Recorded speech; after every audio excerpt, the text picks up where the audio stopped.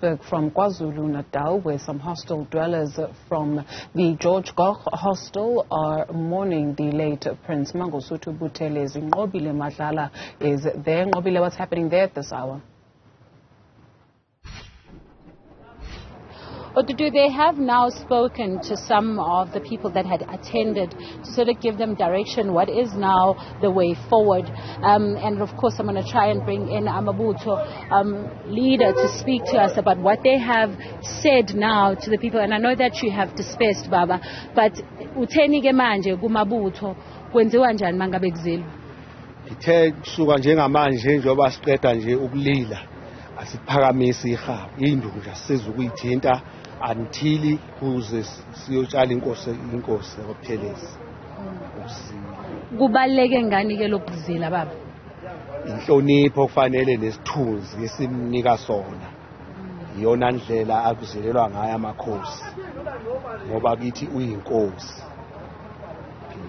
Yebo manje njengoba kade sinibona nihamba laphaya nihambe nicula nihuba nenza lokho kade nikwenzayo kade kade kuchaza ukuthini lokho? Bekuwuphawu lo- lo- lokukhala noma lokulila lokuzwe- lokuzwela nje ukuthi silahlekelwe manje ke baba senikhulumile mhlambe ne- nendlunkulu?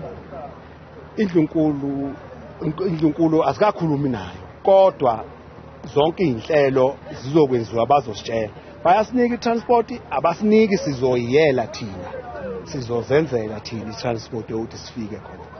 Bangaka abantu abalaba abab- okufanele bahambe baye ngale eh, KwaZulu Natal Oh. bangaphezulu mhlambe ka3000 enginabo nje la ngaphakathi emahostela lama hostela akufanele bahambe bayile so swela yona itransport ukuthi ngeke sikwazi ukubathwala bonke. Kodwa nje umuzwa nani niwubonile ungakanani? And njengoba nilahlekelwe ke baba nizizwa kanjani manje?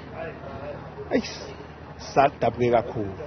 Sidabuke kakhulu ngoba sazi sizokwenza njani wasisiza wasivikela njengoba sikhona nje emahostela wasisiza was- wasivikela ukuthi si- sikwazi ukuthola ney'ndawo zokuhlala njengoba sihlala nje. Ngabe asisakwazi ukuhlala ngendlela okwakukhulunywa ngayo nokwakushiwo ngayo. Wasinika nenhlonipho. Uma ubona nje la sihlukene sinike iy'ndawo ezehlukene kodwa indlela esihloniphana ngayo ngathi silamana kumama oyedwa sakunikwa uye lokho. Ngiyazi ukuthi linishonele kakhulu baba kodwa ku- kunombuzo futhi o- omanuvela um ikakhulukazi kulaba abalahlekelwa ngaleza ikhathi ezazinzima kukhona leyo ngxabano yayikhona phakathi kwamaqembu. Nithini-ke kuleyo mndeni njengamanje nayo ezwa lobuhlungu ob- ob- ob- obuhlangene ikakhulukazi mangabe kukhulunywa ngomntana aphinda angena ngingebulinganise nalutho ngoba wayengasiyi yodlama wayeyingxenye yokuthula. Engiphatheka kabi kakhulu ukuthi useze uyahamba abantu benganxeshezelwe abalimala zinhlelo-ke zosopolitiki singakwazi nathi ukuthi singathini ngoba uma uya komunye omunye ufika avume kusasa eyaphuma athi omunye ongenayo hayi mina kangikwazi lokho. Sasiney'ngxoxo no- kunozuma saba ney'ngxoxo nothabo mbeki bonke laba abantu babesithembisa babancephezela abantu namanje akaze kwenzeke lutho. ngingomunye nami owayekhona eshelhouse ngomunye owayekhona eshelhouse kodwa-ke angeke sisho umntwana waphinda angene wayelokhu eyishile ethi akafuna aze ahambe kungahlaliwe phansi kukhulunywe siyabonga kakhulu baba ukhulumayo Ngibonga nathi. kakhulu nami. Well, to do, they have now dispersed, of course, as you can see. Some of them are here, some of them have gone by with their activities.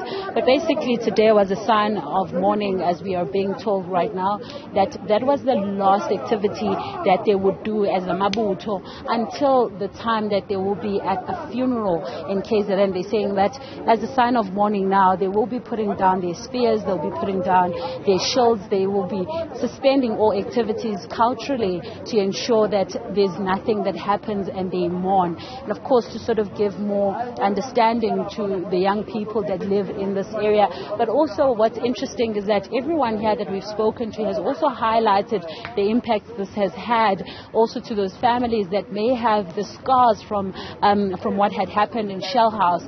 So now they're saying, he's saying that he was one of those people that was there, and he says that it's just so sad that it has come at this time that um, Prince Mangosuthu Buthelezi has passed on, and those families haven't found um, a sense of assistance from uh, the, those that are in leadership. But of course, these are some of the things that they will discuss in time.